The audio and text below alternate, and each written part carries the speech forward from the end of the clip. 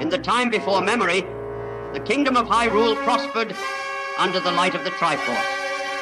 But now dark forces stir in the shadow of the land, and the fate of the world rests on the shoulders of a young warrior.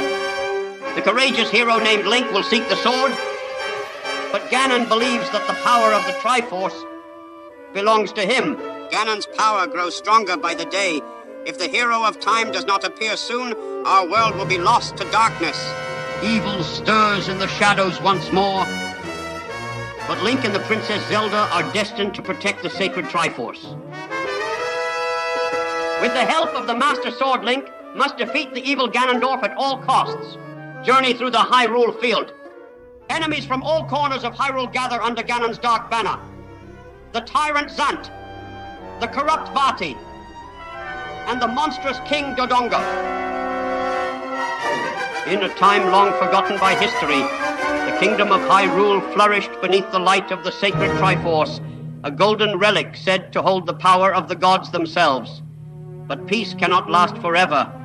In the darkest corners of the world, a great and terrible power awakens.